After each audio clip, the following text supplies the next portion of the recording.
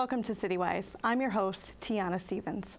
CityWise is produced by the City of Rochester to shine a spotlight on city living at its best.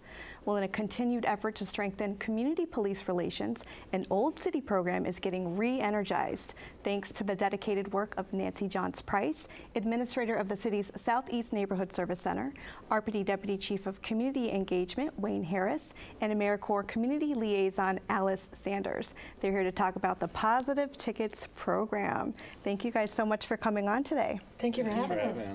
So Nancy, um, a lot of people in Rochester are familiar with this program from years before. Um, how did that program first come to Rochester and what's different about Positive Tickets 2.0?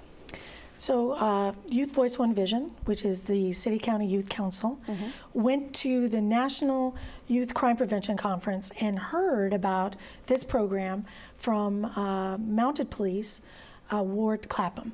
And they were like, oh, it's exciting. We got to bring this back. We can do this. So we got back, we got going. We sat down with a couple of uh, RPD that were in our, working with our recreation centers, and we got it up and going. And we were doing pretty well with different patrols, youth going out on patrols. And this is giving people a, a positive ticket for good behavior. Ticket. So we're for finding youth. them. Okay. Right. So we find them doing something, maybe uh, helping someone in a garden, uh, wearing their bike helmet, all different kinds of things, and we would give them a positive ticket.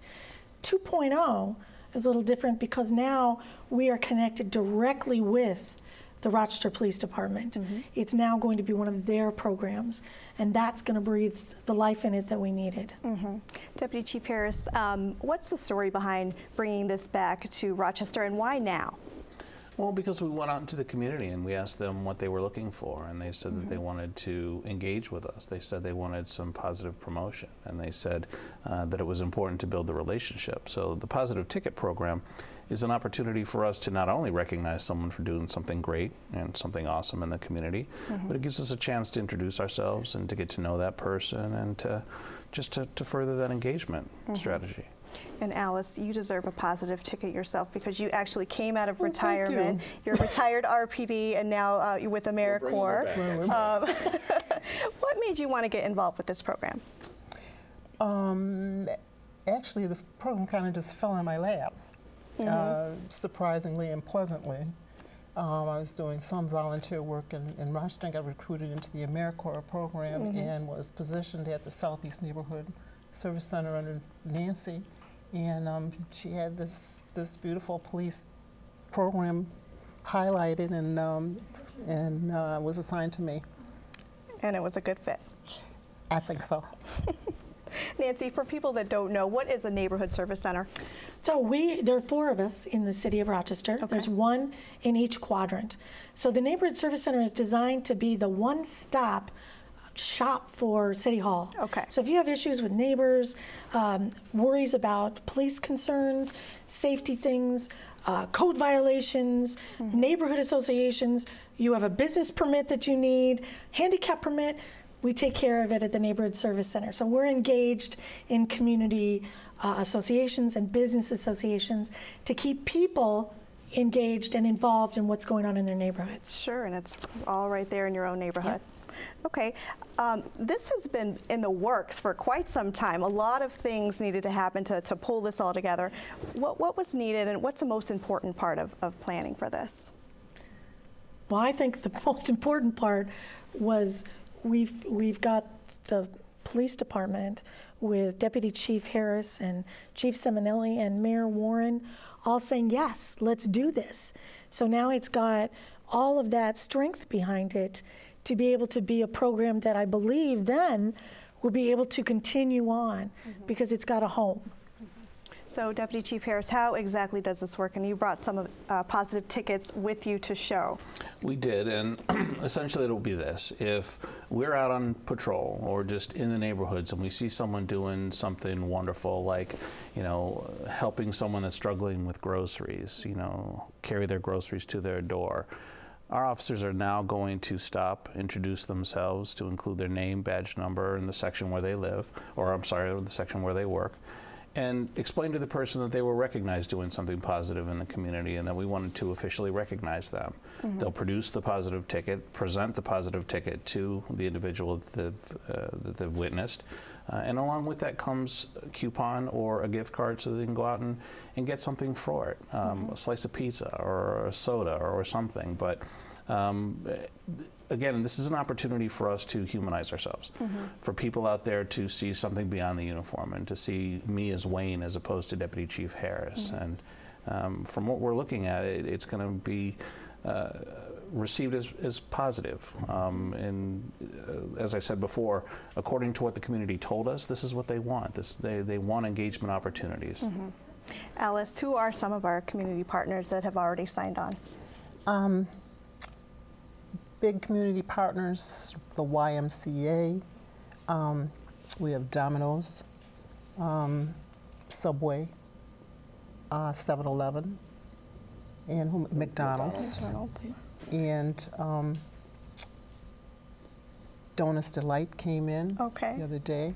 And we have letters out in the community. I'm sure after Mm-hmm. um, this program and after the press release the other day that others will be wanting to come in. Mhm. And you've been making a lot of phone calls, engaging community partners, inviting them to be part of this program. What's the reaction when you make that call and you tell them, hey, this is coming back to Rochester? Um, I've had nothing but, but positive um, feedback. And, and folk just like Domino's, uh, they, they're just so wonderful. Those people are just so wonderful. They came out and they said, oh, they, we, they, we cannot wait to get involved with the community. Um, we're community-oriented folks, and um, we so uh, want to be involved with the police and walking in these patrols. And we hope also that out of this this communication and relationship, that some of the, the, the young people or citizens also become a part of our uh, group Right. in the future. So it, it, it works all kinds of ways. So community partners are welcome to walk uh, with officers on a positive patrol? So we actually haven't worked out the logistics or logistics of exactly how that's going to occur. But one of the ideas that we've had are putting together the volunteers from our sponsors to go out with officers, uh, at least initially, to recognize people doing great stuff in the community. But beyond that, um, what we'd like and what we're hoping to build is this being something that officers do on a regular basis, not necessarily with a, a volunteer or a team of volunteers, Sure. but as they're driving around in the community and they see Tiana doing something great, they're going to stop and introduce themselves to Tiana and say, you know, that was awesome. So uh, you mentioned some of the, the coupons that would be with the positive ticket that Tiana might get. Um, so what, what specifically um, do you have right now? Well, let's do uh, Domino's example. Why don't you? Well, we're we have some food items. Okay. right now. Always but, good. Um, but um, I have also solicited um, the museum um, and Okay, places. so fun uh, things to do. Mm-hmm. Right, fun things to do. Skating places, um, barbershops. Uh, Places that you know want to do eyebrows. Um, we, we've solicited nice. solicited uh, the um, cell phone shops for cell phone Mm-hmm. minutes. So we're looking for not just you know not just sending kids out to eat, but to, to have something to do for fun as. And, well. and anyone can receive a positive ticket too, right? Not Right. just Yeah. youth. right, it's citizens. Okay. So we're going to be looking at everybody, no matter what your age is. Are you looking for more community partners to come on board? We always need community partners. What should a business owner do um, to get on board with positive tickets? just give us a call. Should I Yep, Our say the telephone number? Sure. Yes. um, you can reach us at 428 Seven six. 7640. Um, I'll also put this out too. Um, we have the RPD Empowers Rochester um, Okay. site. So um, right now we've been using it for some of our other strategies, but they're more than welcome to contact us. Is that by there, too. email? Yes. Okay. Um, wh- when you guys tell children and people out in the community that this is coming, what's their reaction? And with the rollout at the Frederick Douglass R Center, um, what was the children's Well, response? yesterday was phenomenal. Yeah. It was. Frederick Douglass, we must have had 50 pizza. kids, Uh-huh. and they wanted, do you have a positive Yes. ticket now? Yeah, can We we want a ticket pizza now. You know, and then uh, John Adams was there from Domino's, Mm-hmm. and he, all the kids ran up and said, well, can we get pizza? And so I think he's going to make an arrangement with uh, Frederick Douglass.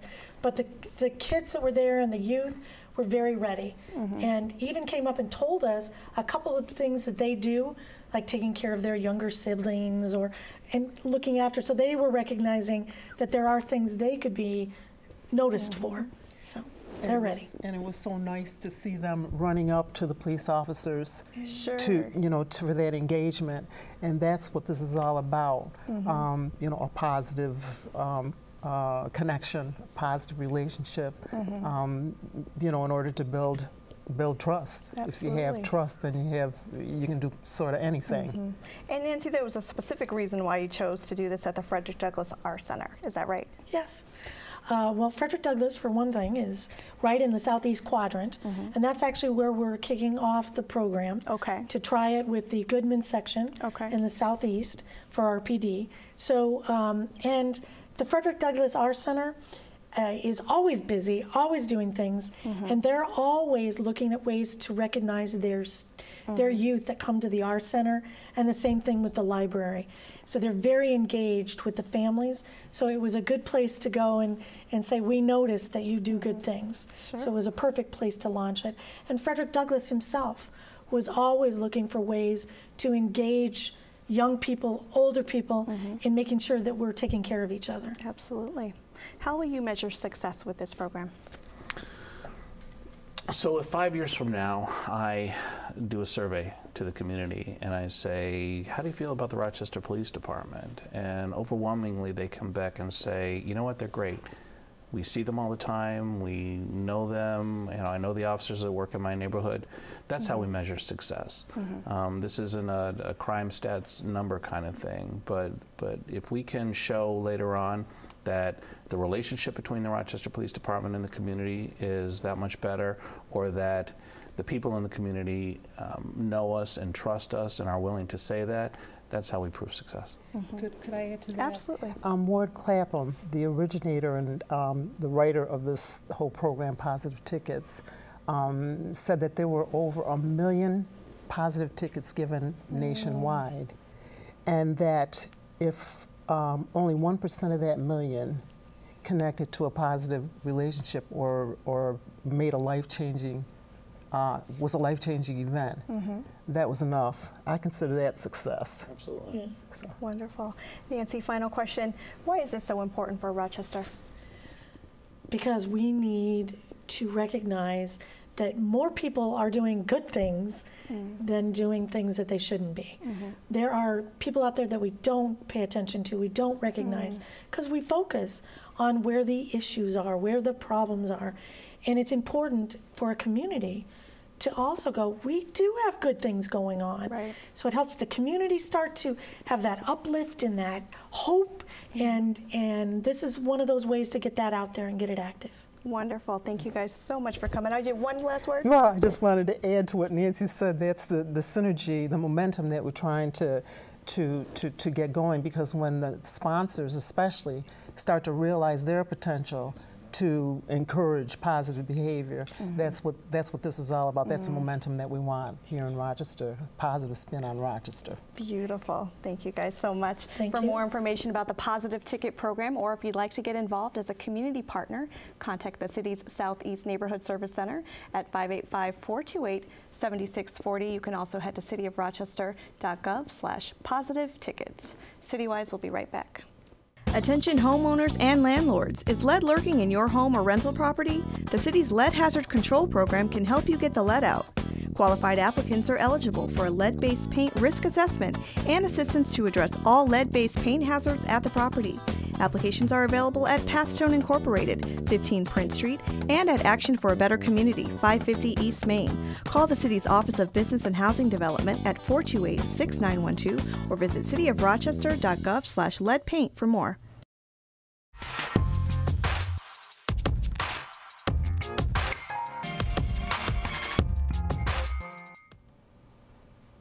Well, every week, thousands of pounds of food that would otherwise be thrown out by vendors at the City of Rochester Public Market is being redistributed to dozens of locations around the city, turning waste into a resource. The Flower City Pickers are a 100% volunteer run organization created by Khoury Humphrey, and he joins us today along with Charles Simmons, Vice President of the Flower City Pickers. Thank you so much, gentlemen, for coming on today. Thank you for having us. So, Khoury, you're a transplant. You came to Rochester from Oklahoma uh, back in 2011. Mm-hmm. Found yourself at the, the Rochester Public Market, and, and you noticed something. What was that? Um, I noticed walking around um, that there was so many different varieties um, of fruits and veggies and all kinds of different stuff there. But I also noticed that off the tables, on the ground, there would be um, a potato here, a tomato there, you know, something out of someone's bag rolled around, and people just wouldn't pick it up. People are just walking by the stuff, even kicking it out of the way. And it's stuff that's perfectly fine. And I was really amazed at that and just blown away that people could just walk by perfectly okay food that was just on the ground. And what did you do next? Um, well, um, back in uh, the start of 2015, um, I saw that there was a need for shelters and stuff that needed food. And I decided that I, I didn't have any money to help, but I had time and I knew of a place where I could find food. And so I decided to go to the public market with a sign on my back that I hand painted Uh-huh. that said I was collecting food for the homeless shelters. Please donate and talk to me with a little smiley face.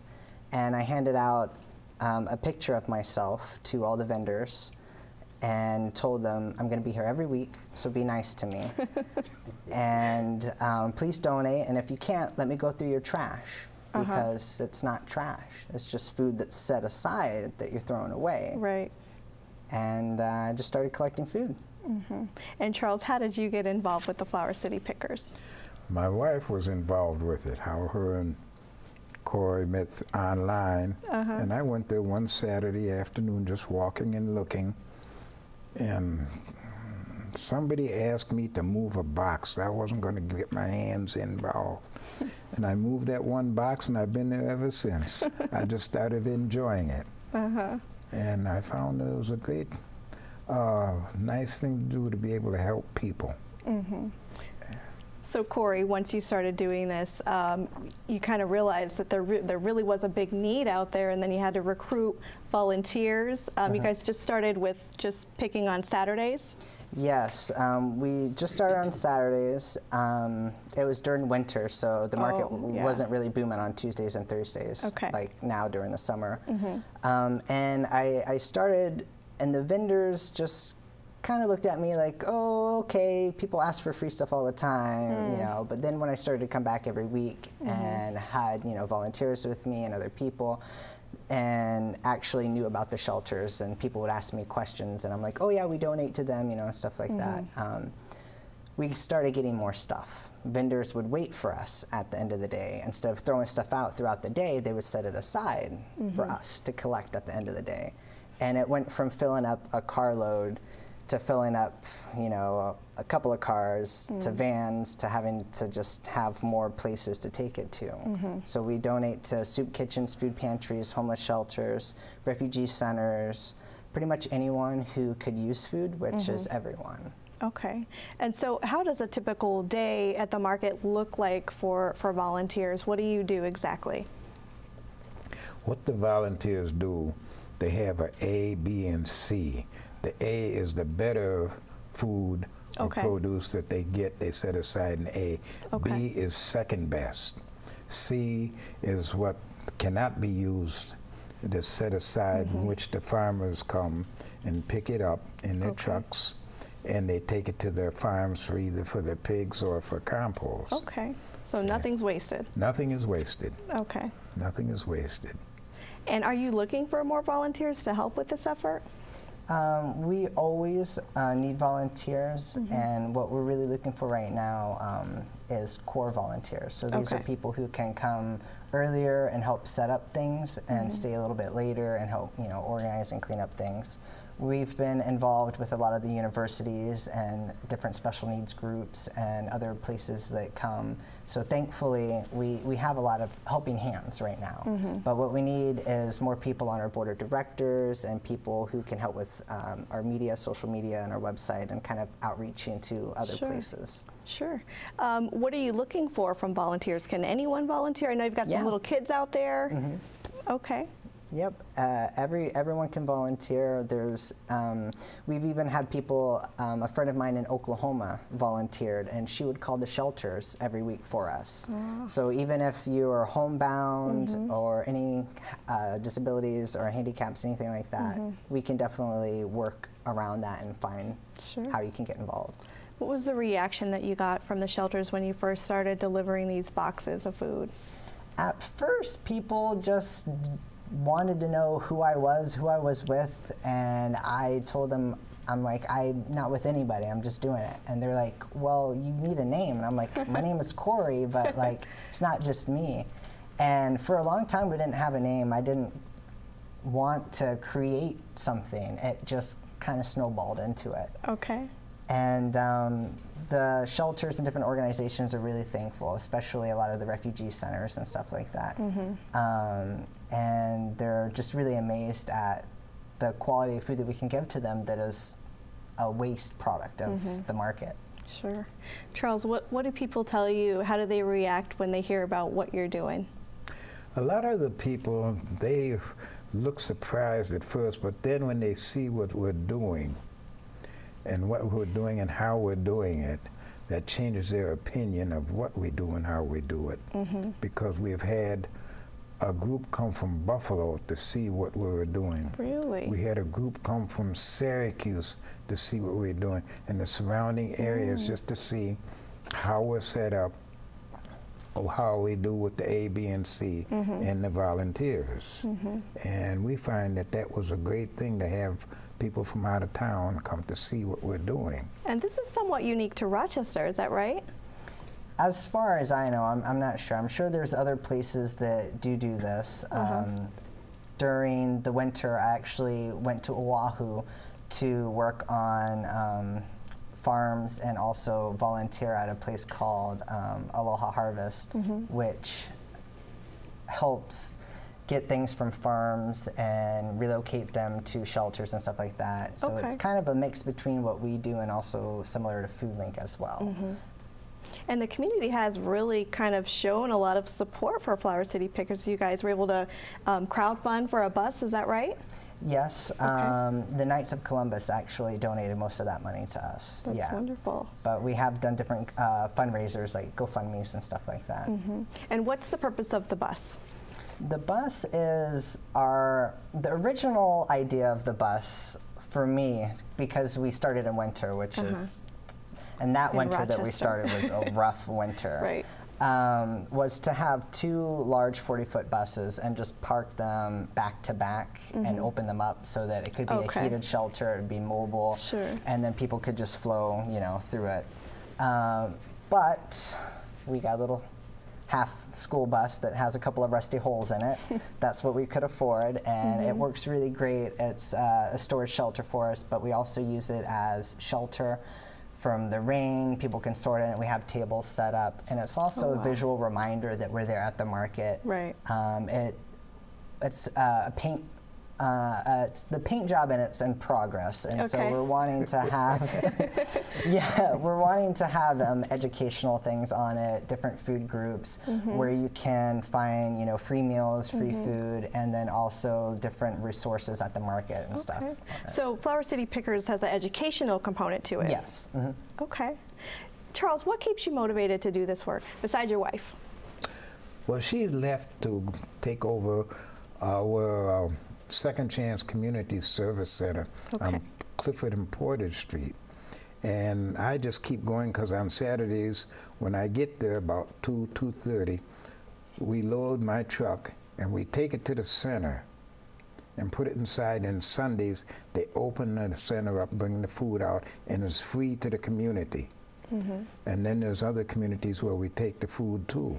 And they do the same thing. So I'll take my truck and we load it, and away we go. And they just, and that's what keeps me going. I enjoy it. Yeah. And the people that you meet in and out, some of them look at you at first, and then when they see you every week, then they say, oh, this is for real.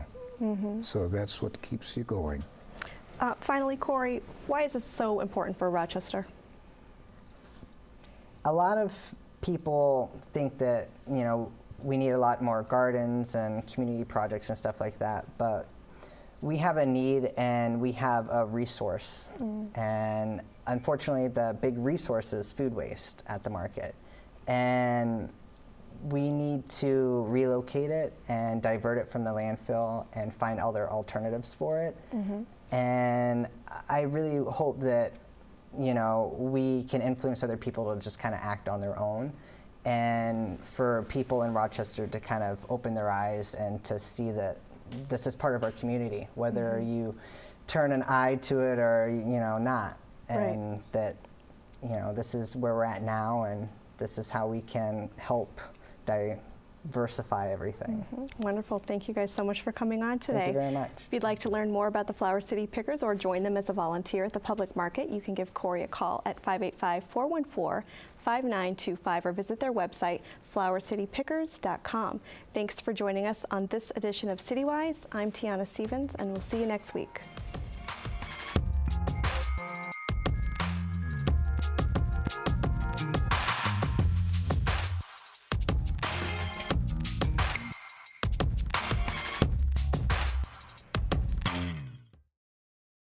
Views and opinions expressed by guests appearing on CityWise do not necessarily reflect those of the host, WXXI staff, or any entity of or affiliated with the City of Rochester. If you have questions, comments, or program suggestions, contact CityWise at 311 or 428 1201 or send us an email, citywise at cityofrochester.gov.